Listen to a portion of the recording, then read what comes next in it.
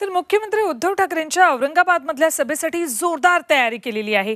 कितपत ही तयारी झालेली आहे त्याचा आढावा घेत घेतलेला आहे आमच्या प्रतिनिधीने. ती दृश्य तुम्हाला दाखवणार आहोत. शिवसेनेच्या या सभेसाठी म्हणून महिनाभरापूर्वी परवानगी सुद्धा पोलिसांकडनं मागण्यात आली होती. मात्र अगदी काल परवा या सभेला परवानगी देण्यात आली आहे लागू करण्यात आलेल्या आहेत. पण ही सभा जोरदार होणार आणि रेकॉर्ड ब्रेक गर्दी या सभेला होणार असं शिवसैनिकांचं म्हणणं आहे. ही दृश्य तिथलीच सभेच्या तयारीचा आढावा घेतला आमचे प्रतिनिधी विशाल करोळे यांनी. औरंगाबादच्या उद्धव ठाकरे यांच्या सभेला आता अवघे काही तास उरलेले आहेत.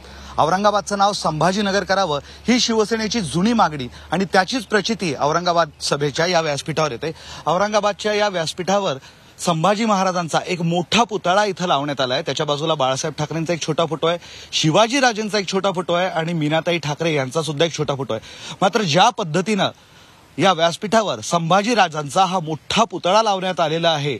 आणि शिवसेनेच्या व्यासपीठावर याआधी शिवाजीराजेंचा पुतळा असायचा. मात्र कदाचित संभाजीराजे यांचा पुतळा पहिल्यांदाच लावण्यात आलेला आहे. आणि त्यावरून शिवसेनेचं राजकारण आता कुठं चाललंय हे दिसतंय. या ग्राउंडची कपॅसिटी तशी वीस ते पंचवीस हजार इतकी आहे तरी सुद्धा शिवसेनेचा दावा आहे की ग्राउंडवर एक लाखपेक्षा जास्त लोक येणार. खुर्च्या तर भरणार सोबतच ज्या गॅलरीज आहेत त्या सुद्धा भरणार आणि याच्यापेक्षा दुप्पट लोक बाहेर उभे असणार.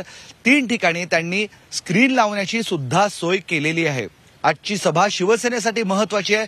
त्यांना विक्रमी करायची आहे. कारण कुठेतरी जे बॅकफुटवरचं राजकारण झालं होतं त्यांच्या बाबतीत त्यातून त्यांना पुढे यायचं आहे आणि शिवसैनिकांना सुद्धा या सभेच्या माध्यमातून एक नवसंजीवनी द्यायची आहे. कारण पुढं महापालिका निवडणूक आहे. त्यामुळे उद्धव ठाकरे आता औरंगाबाद शहराबाबत काय बोलतात काय घोषणा करतात विरोधकांना कसं उत्तर देतात याच चर्चांना आता उधाण आलेलं आहे. Vishal Karole Zee Media Aurangabad. छत्रपतींचा विचार. म्हणजे